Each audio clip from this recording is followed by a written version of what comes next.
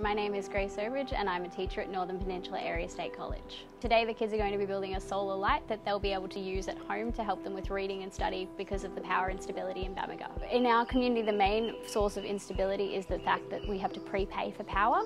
There are common brownout issues as well and it means that our kids often go home and there's no power overnight or for a couple of days while it's being fixed. I was inspired to get our kids involved in SolarBuddy because our Year 6 students are looking at the Sustainable Development Goals and one of the units they were looking at was clean and affordable energy. The most rewarding part of this experience I think is for the kids to be so engaged in something they really love hands-on activities and it's providing them an understanding of science and technologies while being able to be hands-on rather than learning from a textbook. The lights will really help my students because they will be able to read at night. If there's too much going on at home, they'll be able to walk away and be able to read and study at home without distraction, which will be a massive help for them. I would encourage all schools and students to be involved in this program. It's awesome.